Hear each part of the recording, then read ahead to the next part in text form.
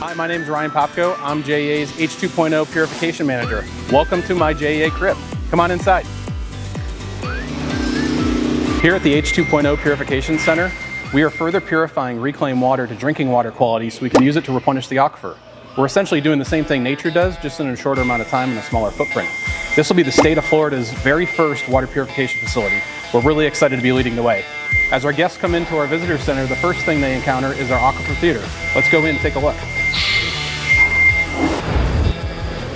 Hey Brian. Hey Ryan, how's it going? Good, how are you? Pretty good. My name is Brian Gaines. I'm the project manager for the H2.O project. I coordinate stakeholders through engineering and design to help keep the project moving forward. And right now we're in the Aquifer Theater where our guests will come and learn about the water cycle and the aquifer before they venture on into our visitor center. Here we are at the water purification process room. Hey Fred. Hey Ryan.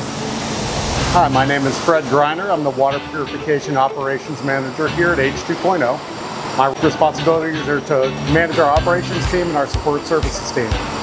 In front of you, you have our membrane filtration system. And we also have varying types.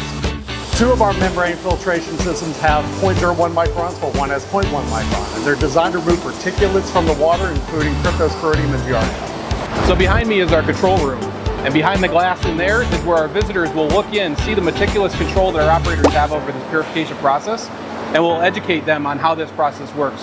Starting from left to right, we go from membrane filtration, reverse osmosis, and ultraviolet advanced oxidation. As you can see, people are hard at work trying to wrap up this project, and we hope that you come back for a tour when we're all set and done.